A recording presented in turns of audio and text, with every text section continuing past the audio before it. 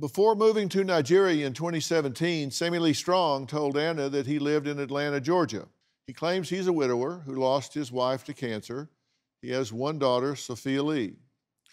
Well, I sent a staff member to Atlanta, Georgia because we care about Anna. We care about what's happening to her. Is it real? Is it not?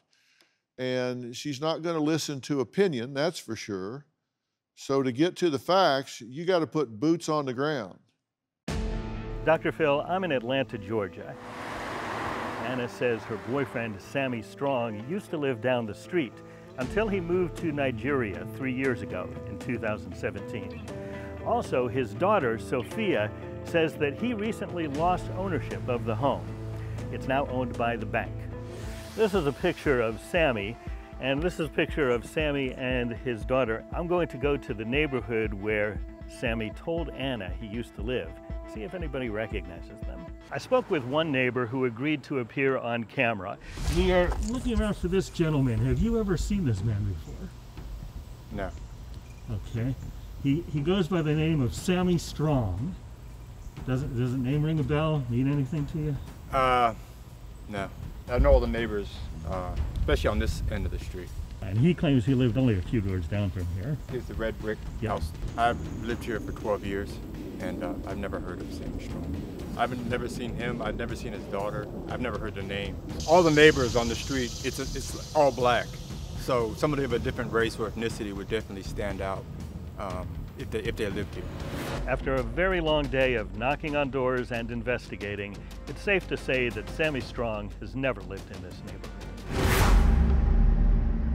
You know, there are records when you own a house. If if you moved from your house right now, if you sold it to someone, if it was foreclosed by the bank, there are records.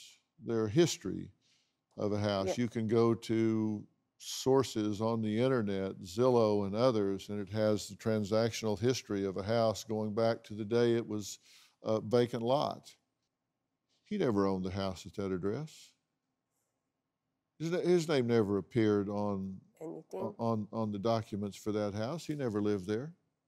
And according to a local realtor in Atlanta, Georgia, the house linked to the address has never even been foreclosed in anybody's name, let alone Sammie Strong.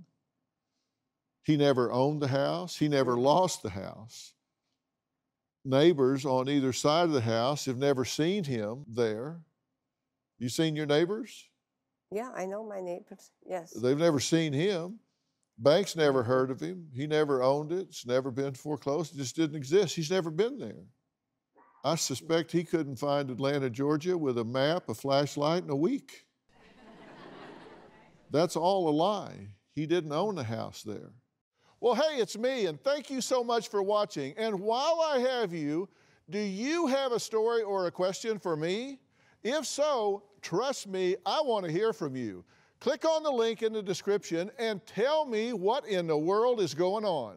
You just might end up right here on the show. And of course, don't forget to subscribe. Click that little red button below. You know you want to. What are you waiting for? Do it.